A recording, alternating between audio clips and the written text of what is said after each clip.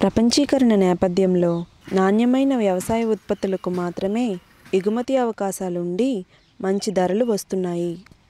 ప్రకృతి వ్యవసాయ పద్ధతులతో పండిస్తున్న పంటలకు మంచి ధరలు వస్తుండడం వలన ఆ ధరలకు ఆకర్షితులై మన శ్రీకాకుళం జిల్లా రైతులు రసాయనిక వ్యవసాయ పద్ధతులకు స్వస్తి చెప్పి ప్రకృతి వ్యవసాయ పద్ధతుల్లో ఈ ఏడాది రబీలో నూనె గింజలైన నువ్వుల పంట సాగు చేయడానికి మొగ్గు చూపడం జరిగింది. అయితే ప్రకృతి వ్యవసాయ పద్ధతుల్లో అతి తక్కువ సమయంలో తక్కువ వనరులు తక్కువ ఖర్చుతో అధిక దిగుబడి పొందే నువ్వు పంట ఎంతో అనుకూలమైనదని చెప్పవచ్చును.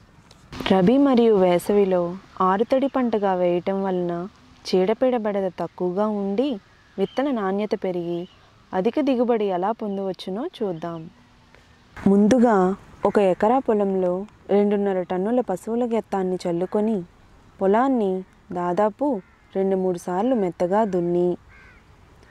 ఆఖరి దుక్కిలో వంద కేజీల ఘనజీవామృతం చల్లుకొని ప్రధాన పొలాన్ని సిద్ధం చేసుకోవాలి.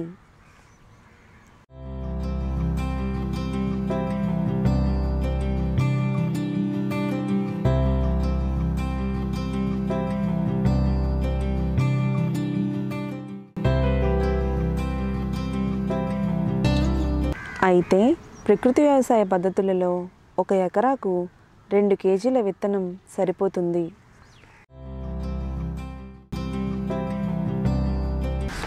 బీజామృతంతో విత్తన శుద్ధి చేయడం వలన మొలక శాతం పెరిగి ఎకరాకు రెండు కేజీల విత్తనం సరిపోతుంది. ఇలా శుద్ధి చేసుకున్న విత్తనాలను రెండు గంటల సేపు నీడలో ఆరబెట్టుకోవాలి. ఈ విత్తనాలకు మూడింతల ఇసుకను కలుపుకొని ఈ విధంగా వెదజల్లుకోవాలి. ఇలా ఎదజల్లుకున్న పొలాన్ని మొత్తం చదును చేసుకోవాలి.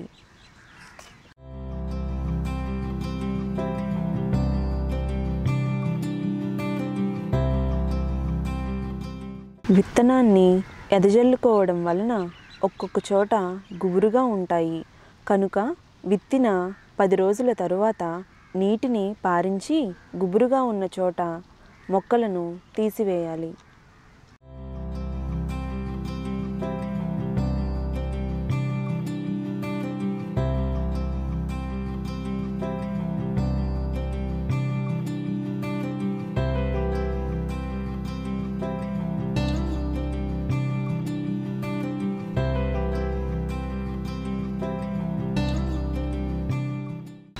విత్తనం జల్లిన పది నుంచి పదిహేను రోజుల తరువాత నీమాస్త్రాన్ని పిచికారీ చేయాలి. ఇలా చేయడం వలన ఆకు తినే పురుగు దోమ నుండి పది రోజుల వరకు రక్షణ ఉంటుంది. పొలం చుట్టూ రక్షక పంటగా మూడు నుండి నాలుగు సార్లు జొన్న లేదా మొక్కజొన్న పంట వేసుకోవడం వలన కొంతవరకు రసం పీల్చే పురుగును నివారించుకోవచ్చు. నీటి యాజమాన్యానికి వస్తే విత్తిన పది నుండి ఇరవై రోజుల వ్యవధిలో నీటి తడిని ఇవ్వాలి. తరువాత మధ్య మధ్యలో తడులు ఇస్తూ ఉండాలి. ముఖ్యంగా పూత మరియు కాయ దశ ఇంకా గింజ ఏర్పడే దశలో ఎక్కువ నీటి తడిని ఇవ్వాలి.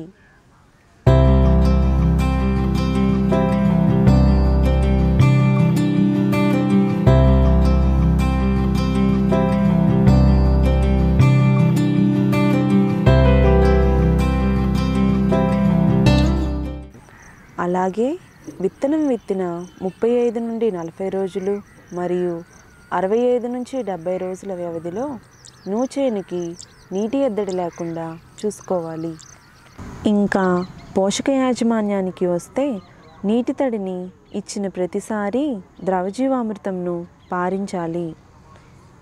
ఇలా చేయడం వలన తేమకు సూక్ష్మజీవులు బాగా వృద్ధి చెంది మొక్కకు తగిన పోషకాలను అందిస్తాయి.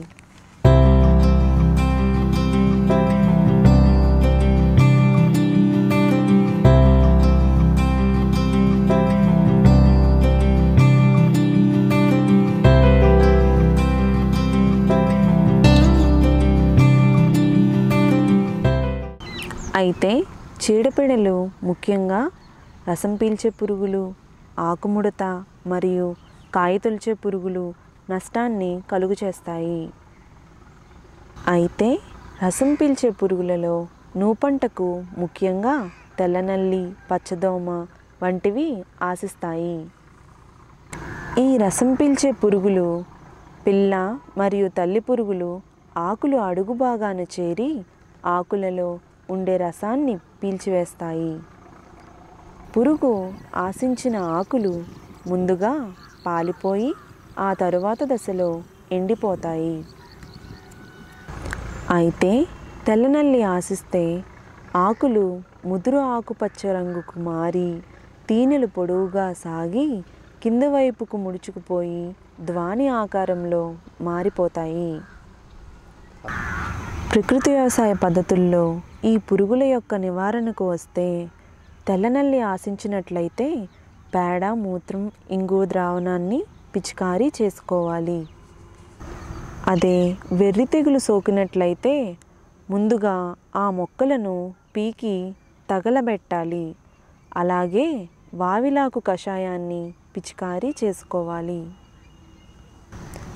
అలాగే పొలం చుట్టూ మొక్కజొన్న జొన్న పంట మరియు బంతి మొక్కలు అక్కడక్కడ వేసుకోవడం వలన మనం వేసుకున్న నువ్వు పంటకు బయట నుండి ఎటువంటి చీడపీడ ఆశించకుండా గింజ నాణ్యత బరువు మెరుపు వచ్చి మంచి దిగుబడితో పాటు అధిక ఆదాయాన్ని పొందవచ్చునని మన జిల్లా రైతులు చెప్పుకొస్తున్నారు.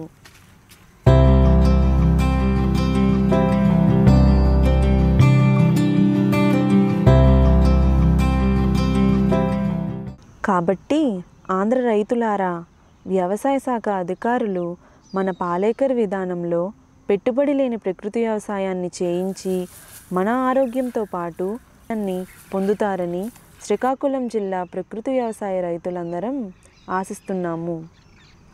ధన్యవాదాలు.